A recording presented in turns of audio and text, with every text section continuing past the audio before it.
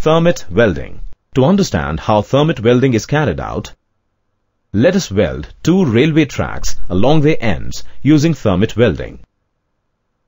First, pour the hot molten wax between the gaps of the tracks to form a wax pattern. Then install a welding setup around the rail ends as shown.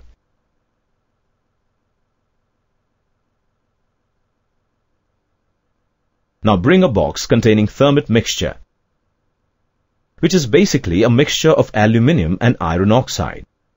The mixture also consists of a very minimal amount of igniting mixture like barium peroxide. Place this box on top of the welding setup. And then ignite the whole mixture.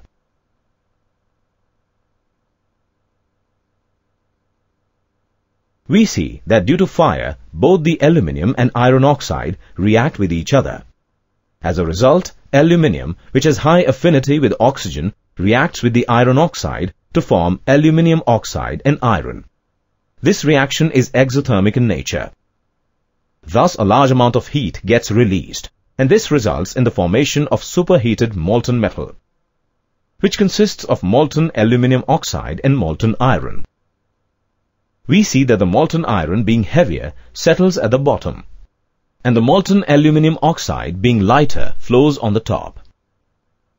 After some time, the molten iron flows out of the box from the opening present at the bottom of the box and enters the welding setup, which consists of a cavity around the joint.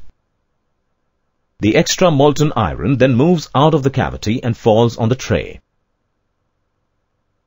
Now leave the molten iron for some time to solidify around the joint. Then remove the box and trays first and then the welding setup.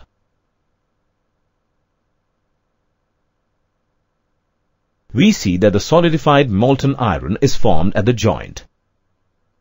Note that the extra iron metal can be removed with the help of grinder.